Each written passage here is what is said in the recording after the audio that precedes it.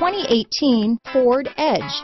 Thrills with more power and MPG. Either way, you're in for an exhilarating experience with Ford Edge. Here are some of this vehicle's great options.